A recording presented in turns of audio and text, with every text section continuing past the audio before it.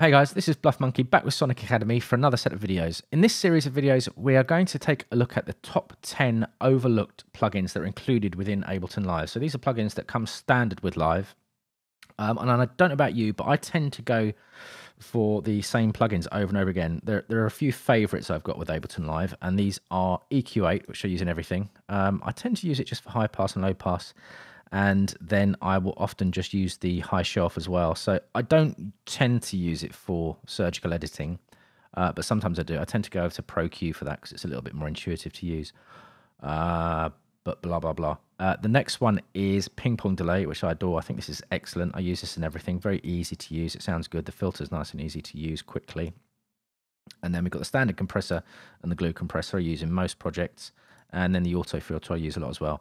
But this, this is not what we, we are looking at in these videos, so I'm just going to get rid of these. You've probably got your own favorites. I'm just going to get rid of this channel for now. And I've got a couple of uh, channels set up here. The plugin we're going to look at in the first video is utility. Now, I don't think utility is overlooked as much as it is underused. There's a couple of really good functionalities on there now um, that I am trying to get into the habit of using for everything. Now, the first one would be the gain control. This little control here. So we can go plus 35 dB or minus infinity down to nothing. And I'm just going to have a quick listen at this drum loop I've got set up. So what I used to do is I used to automate volume using the mixer channel or the mixer.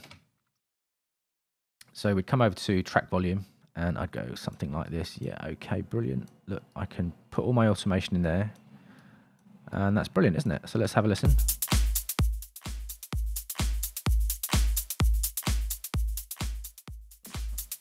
That's great. So all my all my uh, volume is automated perfectly now. But the problem comes when if you've got a channel in a track that's five or six minutes long and the whole channel is covered in automation, if you then want to raise or lower the volume, the overall volume of that channel later on, it becomes a right pain because you have to go in and adjust all the automation highlight all the automation, pull it all up or down at once, and it becomes incredibly tedious.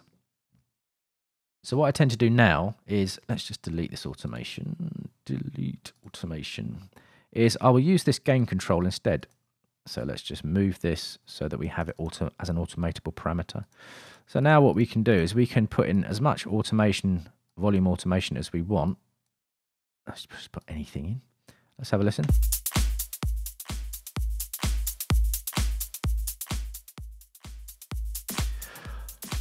And it still allows us to come over to the mixer channel and we can still use the volume slider on the mixer itself to pull down or increase the overall volume of the track. So you can you can use the let's bring this back to utility.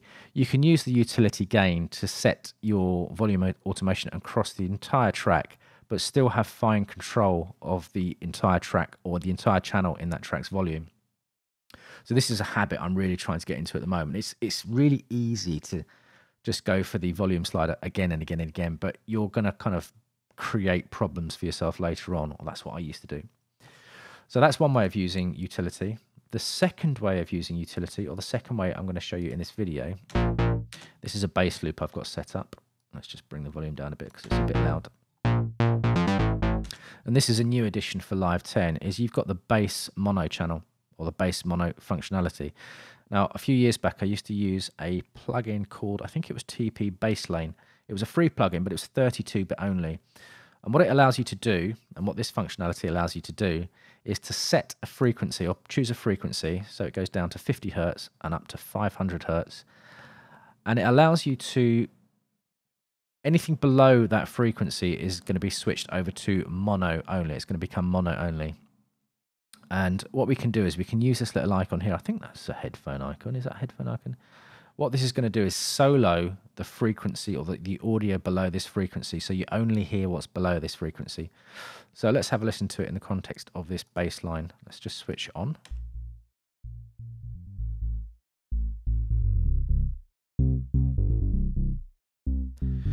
So what you're hearing here is all the content below 196 hertz from this original bass sound.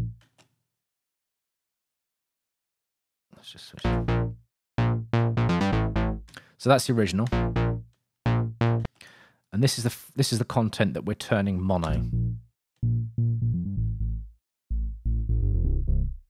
So you could use this for kick drums, you could use this for bass lines, or even certain pads that have got a low, lot of low-end content. You don't necessarily want anything below one or two hundred hertz to have stereo content as well, uh, because we find it difficult to place it anyway, and it it it creates a much tidier and a much tighter mix when those lower frequencies are monoed, especially down in the sub bass range, you know, below 50, 100 hertz. So those are two ways that I use utility now. These are habits that I'm really trying to get myself into.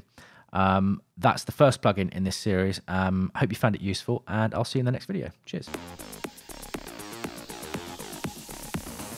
Thanks everybody for watching, commenting, and indeed liking. We really do appreciate all the support we get here on our Sonic Academy YouTube channel. So if you found this video super useful, please We'd love you to hit the subscribe button. We update the uh, YouTube channel every week with new content. And if you want to watch some more relevant content, just click on the videos beside me.